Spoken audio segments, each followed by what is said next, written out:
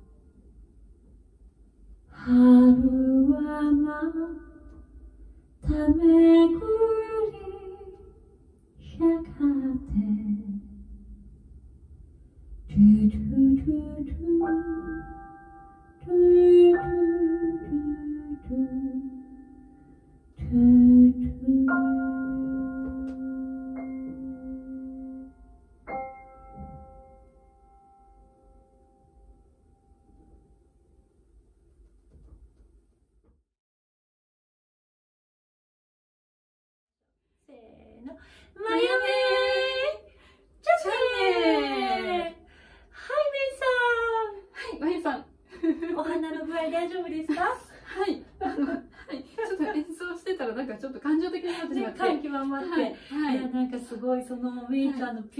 心がなんかすごいねハートに響きました。2021年めちゃくちゃいい感じになりそうな。そうですね。ね。出だしになったと思います、うん、なんか本当に最近演奏できてないから、うん、あのこうやってまやさんの歌にまたこうはい、こうこう一緒に演奏できてそうそういうのも嬉しさも。いや嬉しい、ね、なんか本当なんかこうやっぱいいよなと思って一緒に、ね、一緒に音を奏でるって、ね、いいですよね。素敵なことですね、はい、本当になんかメイさんのそのうるうるの電話も私までもらい泣きしてしまいそうなぐらい本当にあの本当に演奏するって、なんかこう帰っていく感じしますよねそのピュアなところにね。そうですね。うん、なんかこの本当に私たちのなんか、なんか今感じてるものがそのままお客さんに伝わってたら嬉しいですね。うん、はい、はい、なんかちょっとなっちゃいそうで、私も。そうですね。そうですね。ちょっとやばいですね。あの、新年1個目にお届けした、はい。えっ、と、わらび神という曲に続いて、これも母の気持ちをちょっと歌ってるような、はい、歌になってきて、なんか、は今年はちょっとテーマがそういうことなんですかね。母おなる、大いなる心に抱かれて、なんかみんながちょっとね、はいあの、こう、ちょっとね、傷んだ心を、うん、そうだね。癒していくっていうのがなんかうんうんテーマなのかな、マイアミの、うんなんかね不思議と2曲続きましたね、そうだいのがね。あでもナイス選曲です。ナイス選曲ナイス選曲。ジアジさんあの今回ダニーボーイをはい。あの新アレンジで、はい。はい、お届けしてみました。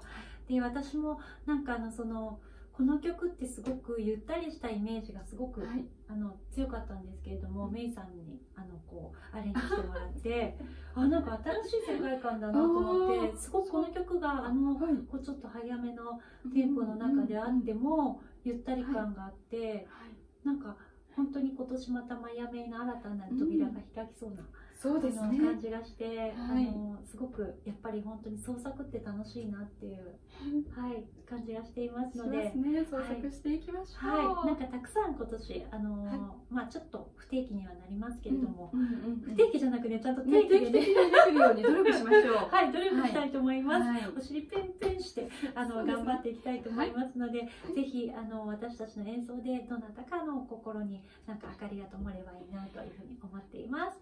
はい、ぜひリクエストもお待ちしてますので、新たな扉を開いていくぞ。開いていきたいと思います。それではまた見てねありがとう。見てください。